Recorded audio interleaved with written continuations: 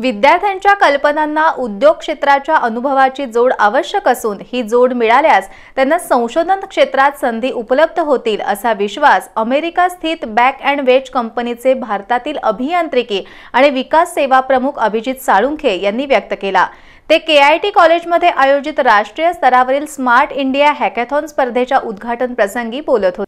भारतीय शिक्षण मंत्रालय इनोव्हेशन सेल आणि भारत सरकार यांच्या संयुक्त विद्यमाने आयोजित राष्ट्रीय स्तरावरील स्मार्ट इंडिया हॅकॅथॉन स्पर्धेचा उद्घाटन सोहळा मोठ्या थाटामाटात के आय टी कॉलेजमध्ये पार पडला.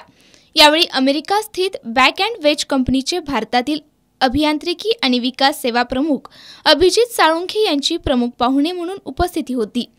या कार्यक्रमाला के आय टीचे उपाध्यक्ष साजिद हुदली सचिव दीपक चौगले आदी उपस्थित होते.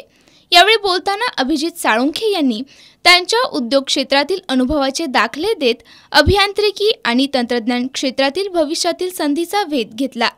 हॅकॅथॉन सारख्या स्पर्धेतून उभारी मिळत असलेल्या नवसंशोधकांचं त्यांनी अभिनंदन केलं.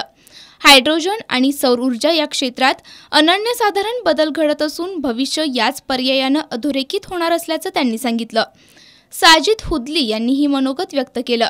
या स्पर्धेत के आय टी केंद्रावर पंधरा राज्यांतील सव्वीस संघांमधून जवळपास दोनशे पन्नास विद्यार्थी सहभागी झाले होते.